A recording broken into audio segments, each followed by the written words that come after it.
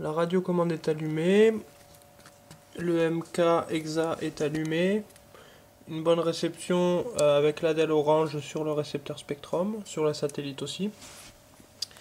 Le quadro PPM clignote normalement. Voilà. Je débranche la voie 7.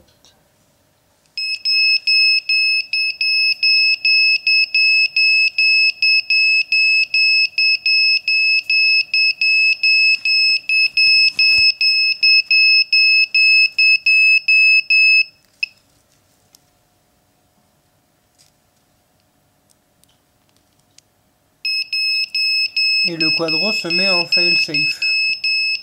Et vu qu'il est en fail safe, il déclenche aussi la fly control. Qui est en fail safe. Je rebranche. Voilà. La lumière repasse au vert. Et le quadro ppm se remet normalement.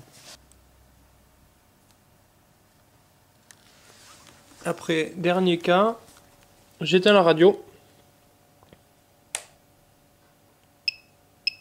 Voilà, donc la lumière du satellite s'éteint, la lumière du euh, récepteur s'éteint. Le quadro clignote complètement normalement. Euh, le MK bip parce qu'il est en mode GPS et que le GPS n'est pas loqué. on peut voir qu'il s'est mis dans une position prédéterminée avec euh, tous les manchots neutres, excepté le canal 5 pour le contrôle d'altitude. Et voilà. Et le canal 11, mais le canal 11 je m'en sers pas, je sais pas qu'est-ce qu'il vient faire là.